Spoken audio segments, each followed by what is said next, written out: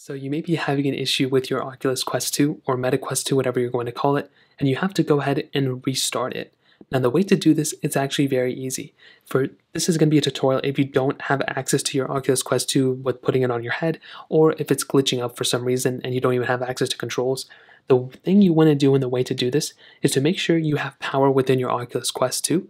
So you can even plug it in if you want and try this out, but there's a power button on the side of your, you know, Oculus Quest headset. It's right next to this little blaster. It's on the right side of your headset if it's facing you. If it's not facing you, if you're looking at the front, it's on the left side. So what you want to do here, and it's very easy, you want to hold down this little button on the side for 10 seconds. So you want to hold it down for 10 seconds, and what it's going to do is it's going to go ahead and power it down.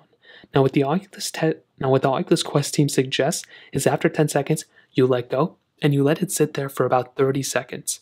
So you go ahead and let it sit there. Sometimes it may reboot if you have it already plugged in. If you don't, after 30 seconds, maybe even a minute, you want to go ahead and click on like this, maybe hold down for like two seconds, and the Oculus Quest headset will go ahead and turn back on, and it will go ahead and turn into its normal headset as it normally would, and you should be able to utilize your headset that way.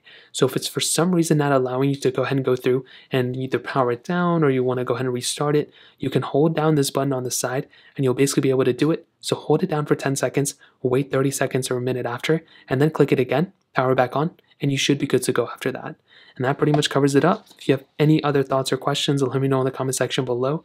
Hit the like button, that would mean so much, but definitely hit that subscribe button.